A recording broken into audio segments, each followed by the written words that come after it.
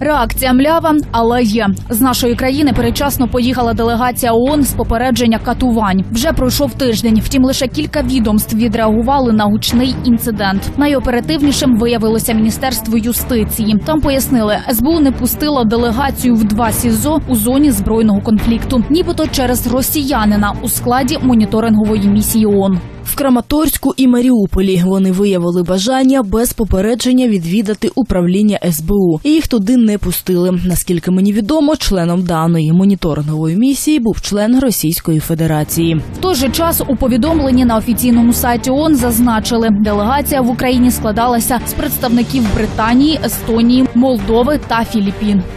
На цей рахунок в офісі омбусмена кажуть, цілком ймовірно, що люди з перелічених країн могли говорити російською. Втім, це аж ніяк не означає, що хтось з них громадянин Росії. Ба більше візит планували заздалегідь. А отже, усі нюанси напередодні обговорювали з українським МЗС. Можна було сказати, що ми не видаємо вам вірчу грамоту на повну територію, бо в нас є АБВ. Вже наступного дня голова служби безпеки України запевнив, відомство діє виключно в інтересах України, і жодний іноземний спостерігач не повинен заходити до районних підрозділів СБУ. каже, там працюють оперативники. Крім того, стоїть засекречена апаратура, а жодних затриманих в райуправліннях не було, немає і бути не може.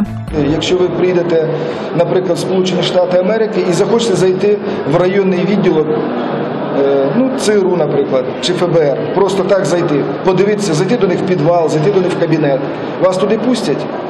Це перше. Друге, в нас не утримуються люди в районних підрозділах.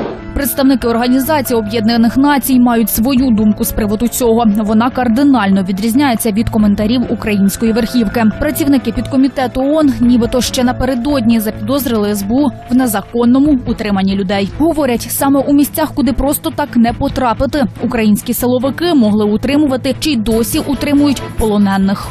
Ця відмова в доступі є порушенням зобов'язань України як держави сторони факультативного протоколу до конвенції проти катувань. Вона означає, що ми не змогли відвідати деякі місця, щодо яких ми чули численні та серйозні твердження про тримання осіб під вартою та де катування або жорстоке поводження могло мати місце. Правозахисники в свою чергу кажуть, Україна сьогодні діє за подвійними стандартами. З одного боку, ми підписали і ратифікували міжнародну конвенцію, тож маємо виконувати усі зобов'язання. Але на ділі держслужбовці знаходять 100 причин та відмовок, аби їх не виконувати. ситуація не є врегульованою, вона не є нормальною. Це є пряме порушення прав осіб, які там перебувають. Ми не зважаємо і не даємо оцінку і характеристику тим особам і мотивів, чому вони там перебувають. Будь-хто, хто там є, він утримується там незаконно. І ще Служба безпеки України не має в принципі повноважень затримувати і утримувати осіб.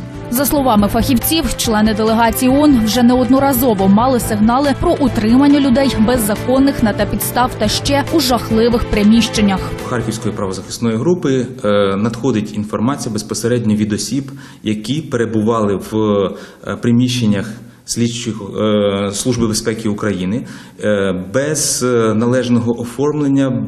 Це фактично було незаконне тримання з метою їх передачі на непідконтрольні території в якості осіб, яких обмінювали на тих, хто утримувався на тій території. Це так званий обмінний фонд. Через такий неприємний інцидент з європейською моніторинговою місією основні правозахисні гілки в Україні опублікували офіційне звернення. Закликаємо невідкладно відновити діалог з делегацією підкомітету ООН з попередження катувань та забезпечити делегації повне сприяння в здійсненні візиту, передбаченого факультативним протоколом до конвенції проти катувань та інших жорстоких, нелюдських або таких, що принижують гідність, видів поводження та покарання. В той же час Служба безпеки України посилається на секретність відомства. Там кажуть, що мають повне право не пускати до управлінь СБУ. Втім, зараз конфлікт є, і його необхідно залагоджувати. Перш за все, щоб катування, незаконні затримання людей викорінити з українського сьогодення. А ще тому, що для України ця конфліктна ситуація може обернутися серйозними іміджевими втратами. Поновити переговори та відновити роботу міжнародної моніторингової місії завдання непросте. І як швидко вдасться це зробити, залежить лише від дипломатичних навиків наших управлінців.